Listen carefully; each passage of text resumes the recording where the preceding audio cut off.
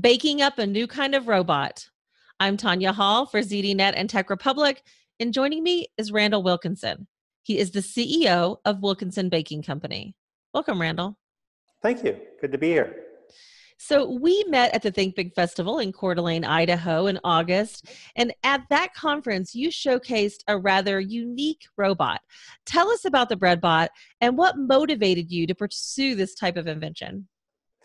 Well, the BreadBot is a, an automated bread making unit that sits in typically a grocery store and bakes bread continuously through the day so that people can take home a fresh loaf of bread.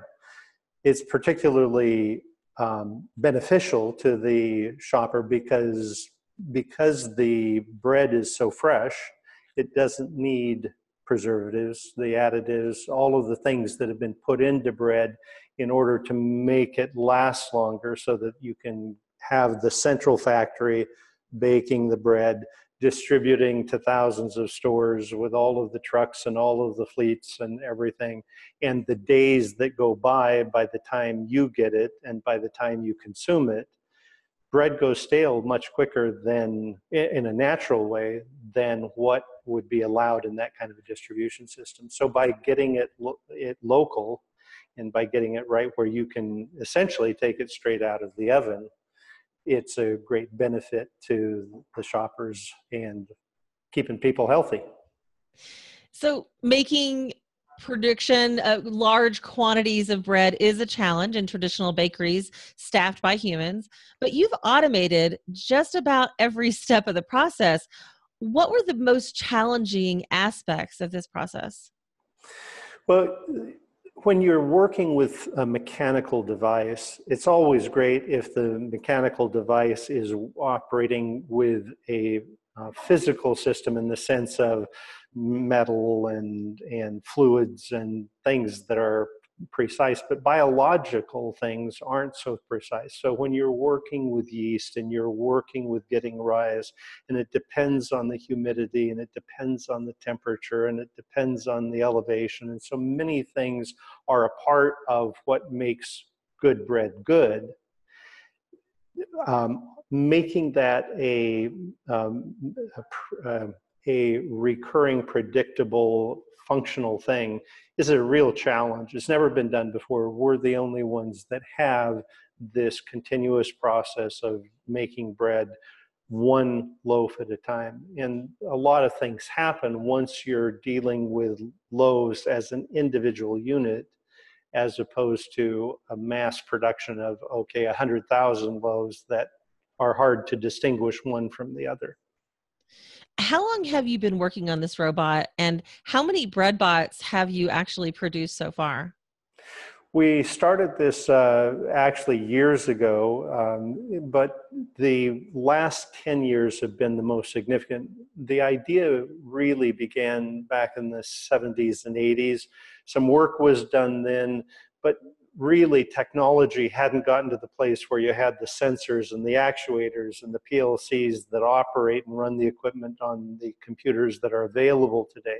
And so it was really about 10 years ago that we put this into a rigorous process of creating the unit. We've uh, gone through a, quite a number of iterations, as you might guess, through the development process but uh, at, at the present time, we've got about 10 units of the current final uh, pre-production uh, R&D models where we've placed them in stores. We've been using them with the public and seeing what happens. And in, uh, for example, the two stores that we tested in, we get a 30 to 50 percent market share on the pan loaves of bread this the packaged bread that's sold in the store. So it's been very well received in those test stores. What we're currently doing is transitioning from r&d into actual manufacturing and we're getting everything set up for that so that we can begin to roll it out actually on a on a rollout or at least in a uh, proof of concept testing for stores that are starting to use our technology. Can I assume that you have patents on this mini bakery technology that you're rolling out? Yes, we have patents uh, in place. We have patents uh, currently in process. We have patents uh, being filed. So it's uh, definitely the first of its kind and uh, intellectual property that we're very protective of.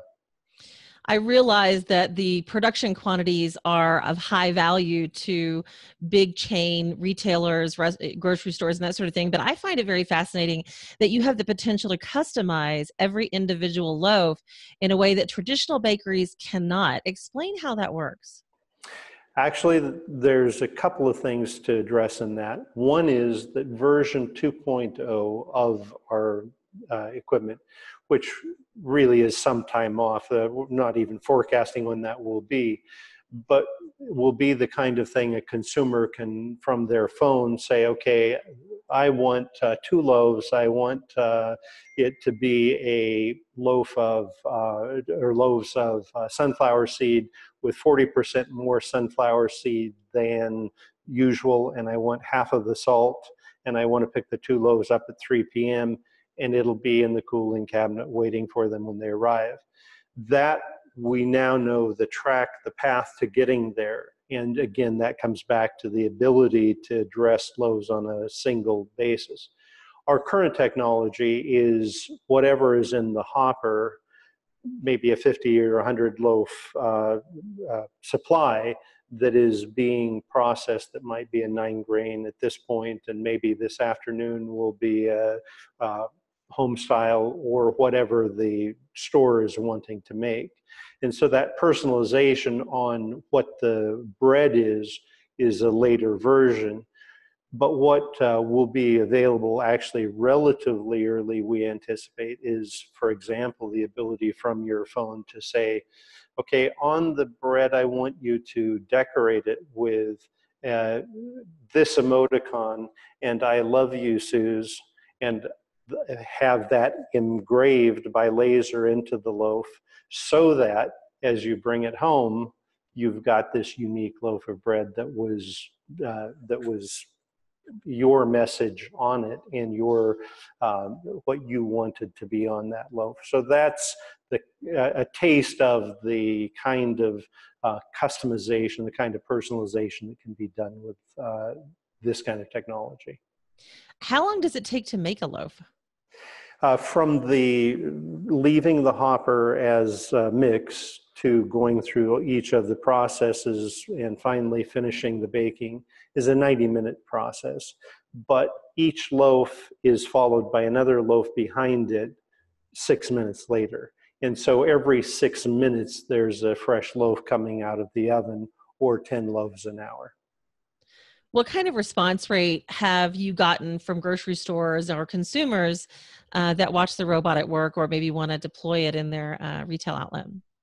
We've had a lot of interest, as you might guess, and um, two of the largest uh, grocery retailers in the country uh, have indicated to us that they're planning on doing testing of our technology in their stores when those uh, machines are ready early in 2019.